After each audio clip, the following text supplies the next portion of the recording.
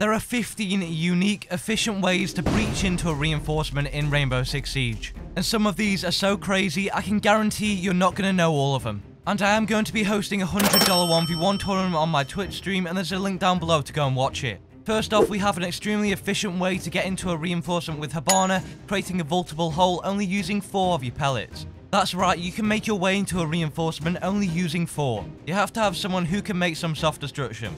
Whether it's a Sledge, an Ash, a Zofia, or even if you bring the shotgun on Hibana yourself.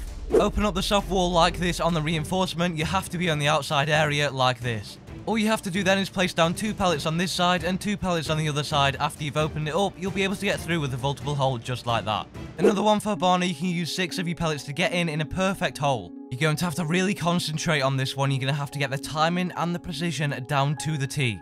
So bring out the best Hibana placement skills you have got. If you line up the pattern like this, you'll be in on the breach. Now, to open an entire set of two walls with Maverick, you can very easily do this by coming across with your blowtorch.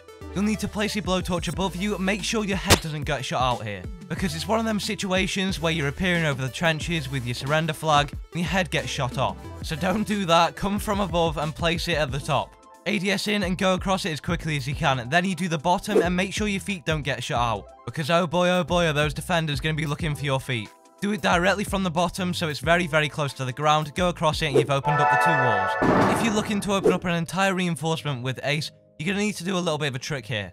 You need to place your ace charge in the very, very top area like I've done here, in that little line. Place another one directly at the bottom, and if you've done it correctly, it will pull off like that, and it works like a charm. And you can also pull off this trick with Hibana too. All you have to do is follow the same pattern, but you're going to need to use 4 of these pellets instead, and you can open it with 8. An entire reinforcement with just 8 of them. It is extremely efficient, place them at the top line here like I've done with the 4. They should go into a little bit of a pattern like this. I don't know what happens to them, but they look like that for some reason. But if you've done it like that, it'll work. Place them at the bottom, set it off, and you will have opened an entire reinforcement with Hibana. And then we did try to open a reinforcement with two pellets, but it simply isn't possible. You get a tiny little hole like this. Maybe one day we will evolve into opening an entire reinforcement with two Hibana pellets.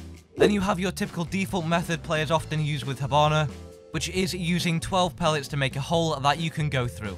And that is so inefficient compared to the methods that we have shown it so far. The breaching game is evolving and you need to catch up. And then you also have your typical default breach charge with Thermite. The classic way of placing an exothermic charge down on a reinforcement and opening it up. We also did try to do this with placing it down on the ground, but unfortunately you just can't get to it. It opens up a very, very tiny hole at the bottom, which, unless you're the height of Mozzie, you can't actually go through but it does allow you to take out bandit charges. You can also open up a reinforced wall with less than two canisters with Maverick. An entire reinforcement opened in two canisters, and you can even get it down to one if you practice. All you have to do is come over to the reinforcement, you're going to have to look all the way up to the very top of it, similar to the Hibana one and the same with Ace.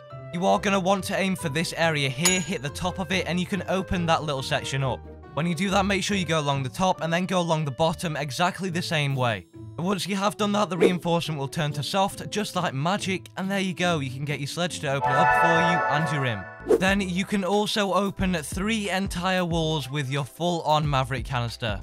If you're attacking Consulate, you can take out the entire garage wall. Maverick is completely broken, and half the things he can do are actually bugs, but they get passed off as tricks. Go along the top, you're going to have to be very, very efficient and quick with it. It is 100% possible to do, but you have to be efficient. Go along the top, then go along the bottom, like I've shown you. Watch out, make sure your head doesn't get taken off and that your feet are tucked in. And then you will have opened the entire reinforcement with Maverick. Then the standard way of breaching for Ace is to simply place your Selma charge down. You can place two of them if you want to. You get a vaultable hole, but you simply get a hole that you can crouch through. If you use two, you can walk through it. That is the main strategy for Ace, and you can use that one too. And then with Hibana, you can take out an entire reinforcement just using 6 pellets.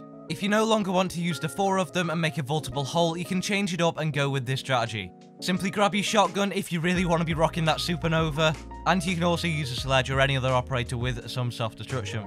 Open up the entire side of the reinforcement, taking out all the soft wall, replace it with your Hibana pellets that can be slotted into there, and you can use three of them. You can very simply do three on either side on the opposites, or you can simply place all six of them down on the same side, and that works well too. And once you set them off, you'll take out the whole reinforcement with just 6 of your pellets. And with Maverick, you can also make a crouchable hole that you can get through simply by using not too much of his fuel and his blowtorch at all. Because that fuel is very, very precious to those Maverick mains. All you've got to do is imagine you're creating a rotation, however you are using Maverick. You come around this in this circular pattern, and you will be able to open it up. Just make sure you leave enough room for you to actually get through. It doesn't use too much of your canister at all, and you will be able to get through, opening up a nice little rotation for you. And next up is a hard breach charge that you can use to get on through very, very easily. Many operators do have this. It's straightforward, simple, and efficient. Get through there with your hard breach charge. If you don't want to take out two walls with Maverick, or even three, you can just do the one. That works as well, and you can simply do that a lot more quicker and efficient by taking the top out then once you've done that, come along the bottom, watch your feet, watch your head, make sure to keep them nice and tucked in, and you will be able to take out that whole wall. Maverick is the master of tearing down the reinforcements those precious defenders put up in the prep phase. And you can also do it with a vaultable hole. You don't always have to crouch through when you're using Maverick, you can do it with a vaultable hole too. It is going to be slightly more difficult to do with him, all you've got to do is come from the top here, make sure you're not looking at the floor, you want to be around the middle area of the reinforcement, open up a circular rotation, once it's opened, you can bolt ahead on through. And just like that, you're through to another reinforcement with Maverick. Now you are going to need 100 tips in 10 minutes for Crimson Heist to start dominating the game, and you're not going to know them all. There'll be a card in the top right for that video. Thank you for watching. Be sure to drop a like and subscribe if you did enjoy, and I'll catch you in the next one.